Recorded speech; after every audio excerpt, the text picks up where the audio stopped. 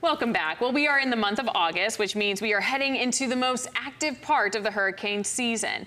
Usually this time of year, our weather computer models will start spitting out random storms and hurricanes in the long range, which can cause some panic if you see that shared on social media. So to talk about the accuracy of those long range and actually short range tropical forecasts, we have Houston Chronicle meteorologist Justin Ballard. So thank you so much for joining us, Justin. Thank you for having me. As we are about two weeks out from, or about a week out, I should say, from mm -hmm. the climatological storm of the peak of the Atlantic mm -hmm. hurricane season. I know we are getting so close to it, and I feel like it's been pretty laid back so far for it us, has. but things are most likely going to heat up. Yeah. And we are starting to see indications in some of our long range forecasts that things could start to get going. And you some are. people might be seeing that on social media. I wouldn't be surprised if people started sharing screen grabs mm -hmm. of, mm-hmm. you know, this model, this model. You know, it's it's it's fun and games until it's not. So let's talk about kind of how that timeline evolves when we're talking about hurricane season forecasting, because it is a longer timeline than, you know, just kind of forecasting your daily thunderstorm chance. First, it begins seven to 10 plus days out. I would say, you know, any sort of landfalling, anything that could form is at least a week and a half to two weeks out. Mm -hmm. So that's good. So you're recognizing the patterns here. And this is a process that every meteorologist, every hurricane forecaster kind of goes through.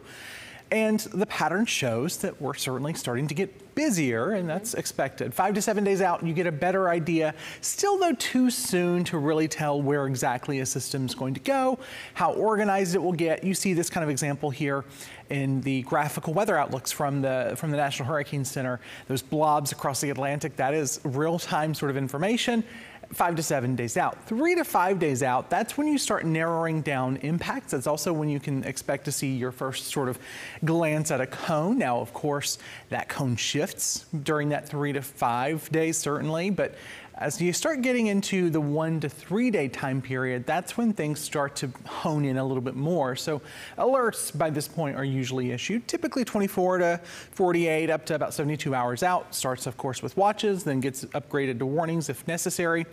And then less than 24 hours out, it's really about tracking and sheltering in place. So making sure wherever you're at, you know, 24 hours to landfall is well you'll, where you'll likely need to stay during landfall. And the, of course, landfall is the worst impacts felt, you know, as the system's moving on shore. So obviously our accuracy goes up, you know, the closer Correct. we are to it going out. But when do you think that people should really start listening up to, huh, this might be something I have to deal with? I think it starts before a system enters the Gulf, mm -hmm. but I really think, you know, once the system does get into the Gulf, you've got about, what, maybe three days max, mm -hmm. depending on where exactly in the Gulf it goes.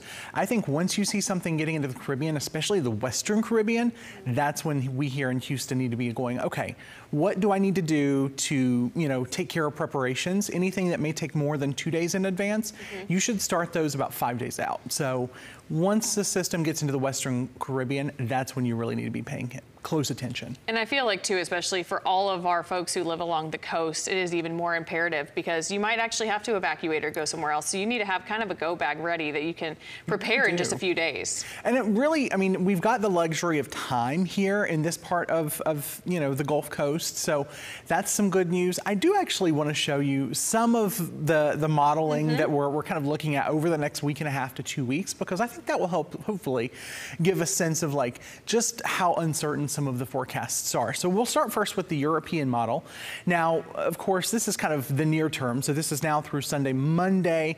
We're kind of keeping an eye on that system out in the deep tropical Atlantic. Really not looking like it's going to be an impact to land. Let's talk about, though, the southern system that starts to form early next week, eh, or excuse me, mid to late next week.